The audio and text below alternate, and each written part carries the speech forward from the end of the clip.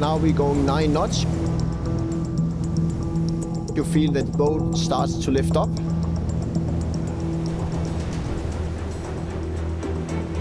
Fifteen, sixteen, seventeen, and 18 knots, and we're flying. When you have space in front of you and you throttle up and take off, you are subject to the same physical principles as an airplane during flight. It's a bit surrealistic because you don't really realize that you're actually going 26 knots right now. It's like riding a magic carpet, basically.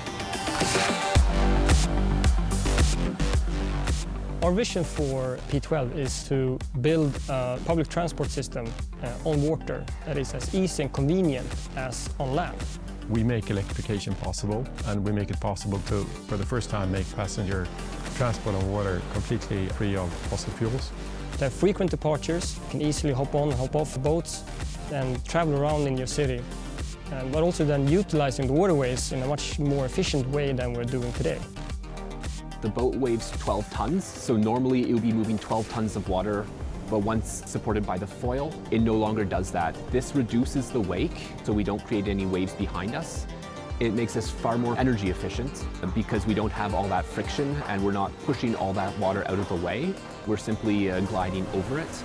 This gives us a much longer range off a reasonably sized battery, in addition to the benefits of a more stable ride than you would get in a traditional boat.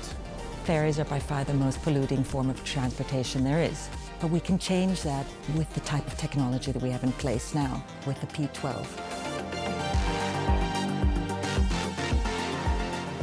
Our vision is that you're going to see waters being used much more than today.